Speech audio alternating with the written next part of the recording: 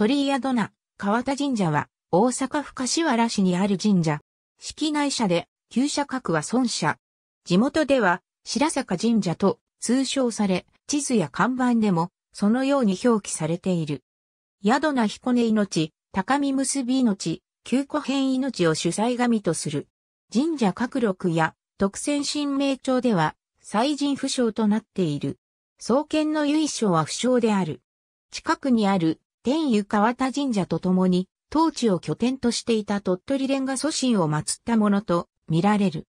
仙台旧寺本義、天神本義では消費骨命を鳥取蓮の祖神としており、三島系図では鳥取蓮の祖、天湯川田命の子を消費骨命と伝える。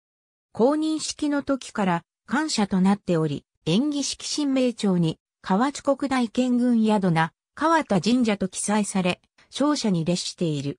中世には白坂大明神と称していた。一説には、現在二宮神社のある地が、地白坂であることから、元の宿名、川田神社の鎮座地であるという。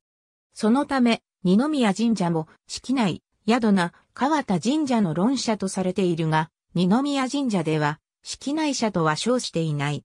明治5年に孫社に列格し、白坂明神から現社名に改称した。鈴木誠年、三島、百科系図巻37。ありがとうございます。